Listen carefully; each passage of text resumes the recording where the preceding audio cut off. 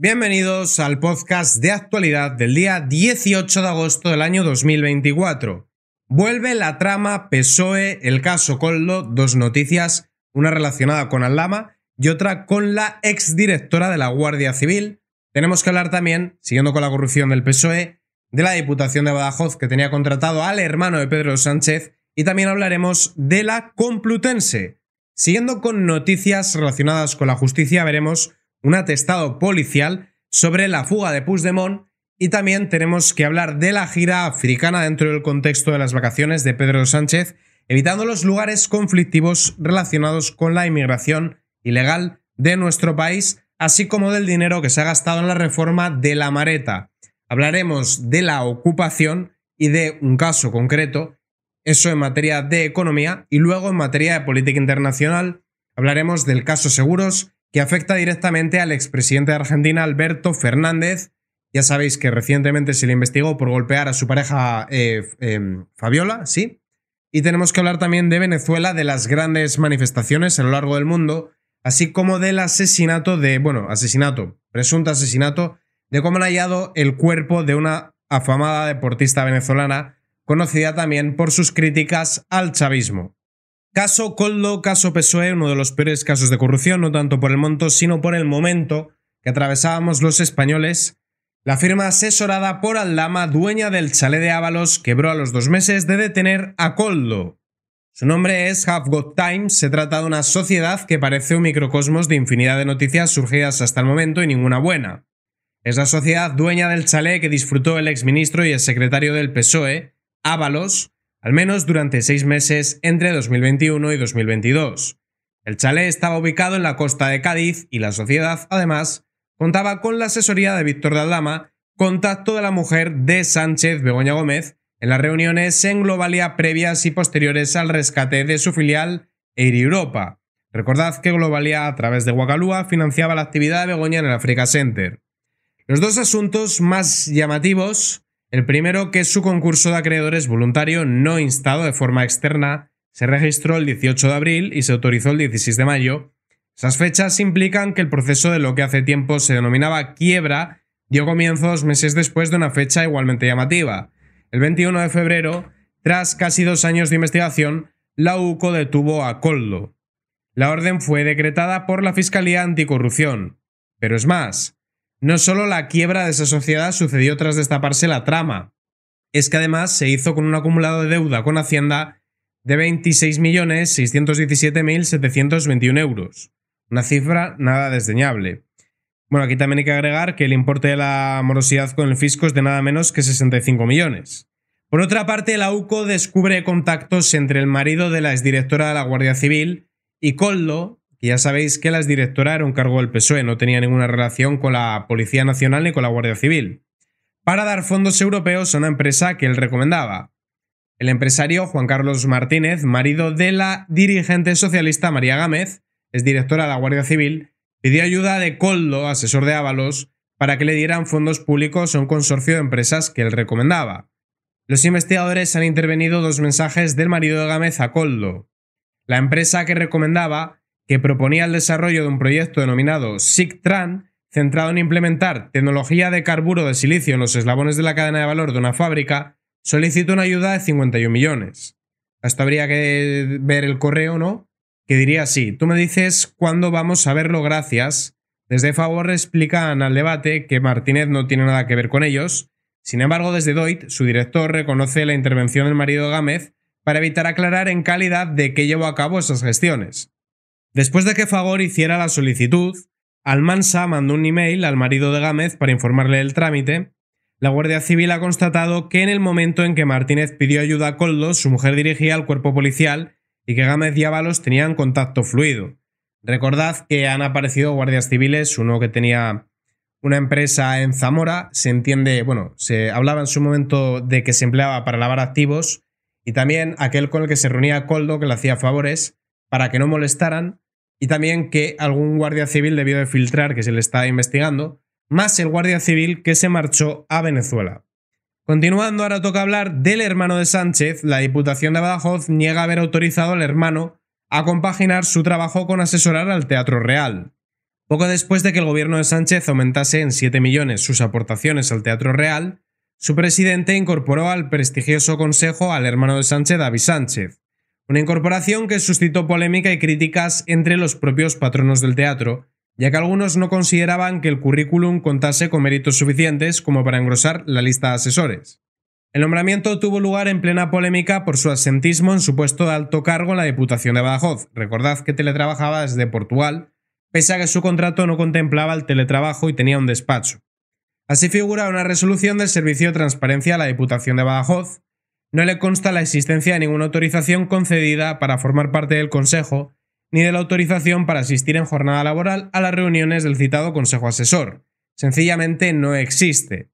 Por otra parte, la Complutense apenas dedicó 3 horas y 45 minutos a controlar la cátedra de Begoña Gómez, ya que os recuerdo que el rector, según el ex vicerrector, le dijo hay que hacer un máster a la mujer del presidente, ya está, y que además no contaba con titulación homologable y luego habría que sumar cómo tomaron fondos de la Complutense para la página web de Begoña, cómo se iba a comer a, restaurantes de degustación y a restaurantes orientales con dinero de la Complutense, el dinero gastado en la promoción del máster y por supuesto el, el, el famoso, el afamado software, más los avales.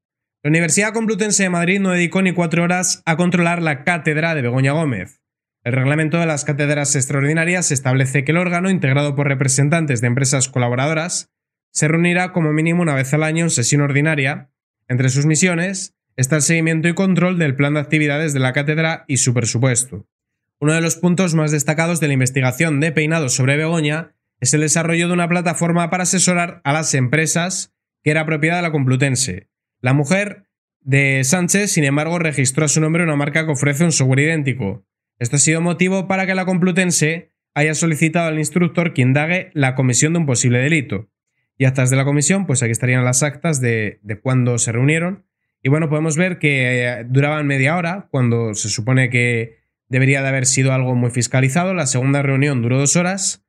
Y en total, pues ni cuatro horas. Polémica plataforma, la tercera reunión de la comisión de la cátedra fue el 27 de enero. Exactamente duró una hora y 45 minutos. Como podemos apreciar, ni cuatro horas para sacarlo adelante. Toca hablar ahora de la gira africana de Sánchez. La gira africana de Sánchez evita zonas de, conflictividad migratoria. Sánchez soslayará las zonas más conflictivas del África Occidental en su gira oficial. El jefe del Ejecutivo recalará Mauritania, Senegal y Gambia, milagro que no vaya a Marruecos, tres países caracterizados por estabilidad política mayor que la de Guinea, Mali, Chad, Burkina Faso y Níger. Recordad que ya ha habido eh, recientemente golpes de Estado. Tampoco irá Sánchez a Sierra Leona, Togo, Benin o Ghana. En fuentes institucionales canarias no se descarta que el presidente autonómico Fernando Clavijo acompañe a Sánchez. La realidad es que la fecha de esta agenda no es la idónea por los eh, compromisos previstos de los homólogos, es decir, los países a los que va a ir.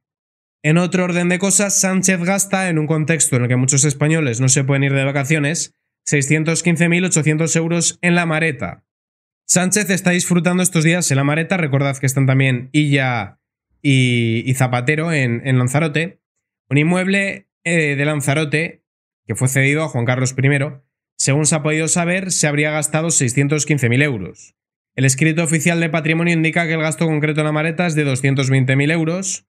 Cantidad coincide con la misma del año anterior, es decir, que si sumamos lo de los años, pues daría el monto de casi un millón de euros, algo que es una auténtica canallada sobre todo por el contexto económico que estamos atravesando. Los atestados policiales demuestran que los mozos renunciaron a perseguir a Puigdemont, y esto daría más pie a lo que hemos comentando desde hace unos días de que no había una voluntad para detenerle. El pasado 8 de agosto los mozos estaban llevando a cabo un dispositivo de vigilancia sobre Puigdemont. Su objetivo era proceder a la detención una vez que éste terminara su discurso. Sin embargo, a pesar de la orden del Tribunal Supremo, los agentes que estaban presentes en el lugar no detuvieron al líder de Junts. Los agentes que han declarado en calidad de testigos en la causa abierta no solo reconocen el fallo en el dispositivo, sino que también lo vieron huir y no hicieron nada para proceder a su detención. Al finalizar el acto, los agentes han visto cómo un grupo organizado de personas han hecho maniobras. Estos agentes han podido observar cómo se subía un vehículo Honda sin que los agentes hayan podido seguir al vehículo. La situación se complicó cuando se supo que los agentes que ayudaron a Puigdemont fueron detenidos y puestos a disposición judicial. Pese a la gravedad de los hechos, actualmente estos agentes están en libertad. Otro agente involucrado fue Jordi Rodrigo, dueño de un Honda Blanco en el que escapó Puigdemont, hombre de 57 años que todavía está en activo. La policía catalana había previsto varios escenarios, pero ninguno de ellos contemplaba la posibilidad de que pudiera fugarse frente a miles de personas, con lo cual entendemos que no había una voluntad para su detención. Toca hablar ahora de ocupación. Dos años Inki ocupado. Me dijo que si el PSOE seguía ganando no le iba a poder echar nunca. Sus ocupas marroquíes llevan 21 meses sin pagar el alquiler. Mientras el gobierno sigue sin poner solución al grave problema de la vivienda que él mismo ha generado, el número de víctimas de la ocupación sigue creciendo a pasos agigantados. Y lo peor es la impunidad con la que se saben los delincuentes. Es precisamente el caso de una familia marroquí que lleva 21 meses sin pagar el alquiler, aferrándose al polémico decreto anti-desahucios del gobierno. Recordad que el año pasado Yone Belarra sacó la ley de vivienda con el apoyo de Bildu, Esquerra y el PSOE, que prácticamente blindaba la ocupación y que obligaba a los inquilinos a demostrar que el ocupa sí que está en posición de, de pagar y no al revés. Me llamó su hijo y me dijo que si el PSOE seguía ganando no les iba a poder echar nunca. Recuerda desesperado el propietario, un conductor de autobuses de Parla que ni siquiera es capaz de describir con palabras la rabia y la impotencia que le produce tener que mantener a unas personas que, según dice, tiene más dinero que él y su mujer. Después de quedarse embarazada y vivir una temporada con sus padres, la pareja no ha tenido más remedio que mudarse a un pueblo, donde los precios son más bajos. Aún así, pasan verdaderos apuros para hacer frente a las dos hipotecas, puesto que la vivienda ocupada todavía no está pagada. Por si fuera poco, la ansiedad ha llevado a Juan Pedro a tener que medicarse, algo a lo que desgraciadamente se ven abocadas muchas de las víctimas. De inquilinos en que ocupas, Juan Pedro y sus hermanos heredaron ese piso de sus padres, pero con el fin de preservar los recuerdos, decidió comprarles su parte. Todo iba bien hasta el 2020, estaba pasando una mala racha y tuvo que alquilarlo para pagar la hipoteca. A pesar de que el piso tiene tres habitaciones, se lo dejó por 400, muy por debajo del precio de mercado, o sea que tuvo buena fe, y a pesar de todo, pues decidieron que no iban a pagar. ¿Quién es el más vulnerable? Dice este hombre, porque obviamente es más vulnerable él, pero sin embargo la ley protege a los ocupas. Esto es una vergüenza y no se trata de un caso aislado y luego también se quejan de que hay una suerte de racismo en España, que la gente no quiere alquilar a marroquíes, pero casos como este no incentivan precisamente a que la gente quiera alquilarles. Toca hablar ahora de política internacional, concretamente Alberto Fernández. El caso seguros así fue la corrupción de Alberto Fernández que está destruyendo el kirchnerismo. El escándalo del maltrato a su mujer llega cuando el expresidente ya se enfrentaba a una gravísima acusación de corrupción. Las noticias del presunto maltrato de Alberto Fernández a su pareja han sido la puntilla para el político peronista y probablemente para el kirchnerismo que vive sin duda sus horas más bajas. Pese al impacto que ha tenido la denuncia de Fabiola Yáñez, lo cierto es que ha llegado cuando el expresidente ya se encontraba tocado y casi hundido, después de las revelaciones que se han venido haciendo sobre otro escándalo en este caso de corrupción. Tampoco se puede decir que la corrupción y el kirchnerismo fueran incompatibles. La justicia también ha condenado a varios años de cárcel a la propia Cristina Fernández de Kirchner por un saqueo que podría sobrepasar los mil millones de dólares y que está basado en la obra pública. Pero Kirchner, más carismática y con toda la fuerza dentro del partido, hasta el momento había logrado sobrevivir, esperando a sus apelaciones judiciales. Alberto Fernández no parece capaz de tal cosa y la gota de este inmenso caso podría desbordar el vaso. ¿En qué consiste el caso? El caso se inicia con un proyecto legislativo que desde el primer momento desprendía un aroma no precisamente a limpieza, que obligaba a todas las administraciones públicas a contratar todos sus seguros con la misma empresa, Nación Seguros. La excusa era favorecer a las entidades públicas, pero la realidad es que se creó un monopolio que no era posible contar con diferentes ofertas para los contratos y encima se facilitaba la participación de otras empresas y agencias de seguros, pero en condiciones irregulares. Para el asunto dejase aún menos dudas, en ese momento el presidente de Nación Seguros era amigo personal del presidente de aquel entonces, Alberto Fernández, y casualmente vio su patrimonio multiplicarse por 2.000, de 22 millones a 446. Toma pelotazo. Y aquí te adjunta las revelaciones, no obstante vamos a omitirlas. Para pasar a lo de Venezuela, primero una noticia negativa y cerramos con una más alegre. Hayan muerta a Daniela Larreal, mi más sentido pésame a los familiares y amigos, la leyenda del ciclismo de Venezuela que criticó a Maduro. La ciclista más importante de Venezuela ha sido hallada muerta en su domicilio. La deportista que participó en cinco Juegos Olímpicos era conocida también por su férrea oposición a Nicolás Maduro. Daniela se unió en 2018 al movimiento político liberal 20 Venezuela, que lucha contra el narcodictador. De hecho, recientemente compartió un vídeo apoyando a María Corina Machado. Cuenta conmigo para en un futuro regresar a nuestra patria y recuperar lo que la dictadura destruyó. La ciclista trabajaba en un hotel de Las Vegas, ciudad en la, que, en la que se tuvo que exiliar. La policía recibió un aviso, pues llevaba desaparecida desde el 12 de agosto y finalmente encontraron su cadáver. Según las primeras investigaciones, el fallecimiento podría haberse producido el pasado domingo 11 de agosto. En la autopsia han encontrado restos sólidos de comida en la tráquea, pero se ha abierto una investigación para aclarar lo ocurrido.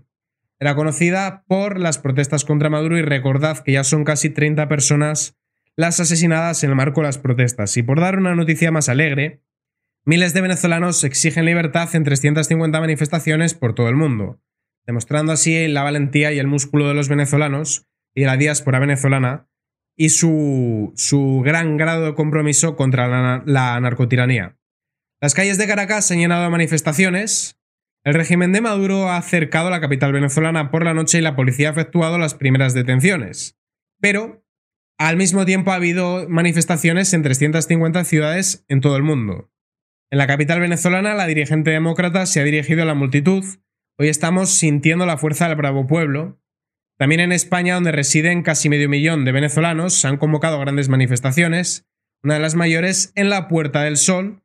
El Mundo González Urrutia ha aplaudido este viernes la resolución del Consejo Permanente de la Organización de Estados Americanos, que ha solicitado a las autoridades del país que presenten las actas electorales.